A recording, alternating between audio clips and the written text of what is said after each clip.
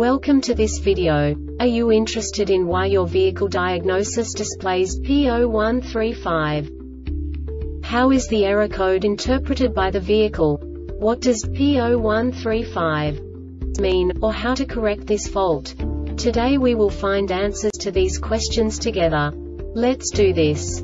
First, let's look at the history of diagnostic fault code composition according to the OBD2 protocol, which is unified for all automakers since 2000. We divide the electric system of automobile into the four basic units. Powertrain, body, chassis, network. This distribution is defined in the first character code.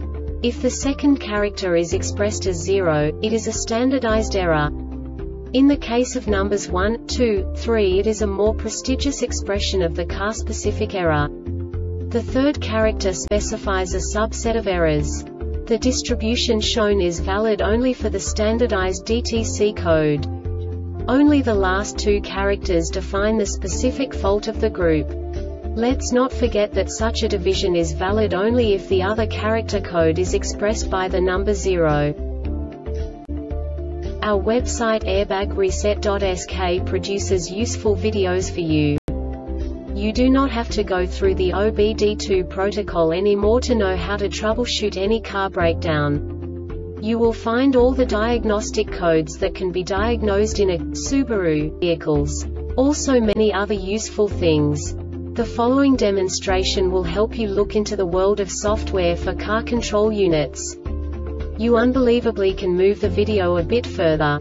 The error code is split into two bytes consisting of 16 bits. One bit is the basic unit that each computer works with. The bit has two logical states.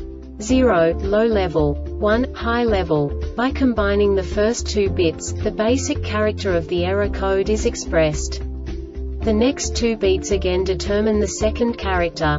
The last beat styles of the first byte define the third character of the code.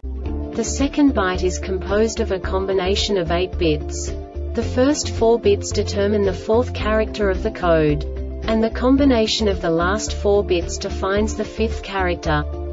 A single byte conceals 256 possible combinations. We now know in what way the diagnostic tool translates the received information into a more comprehensible format. The number itself does not make sense to us if we cannot assign information about it to what it actually expresses.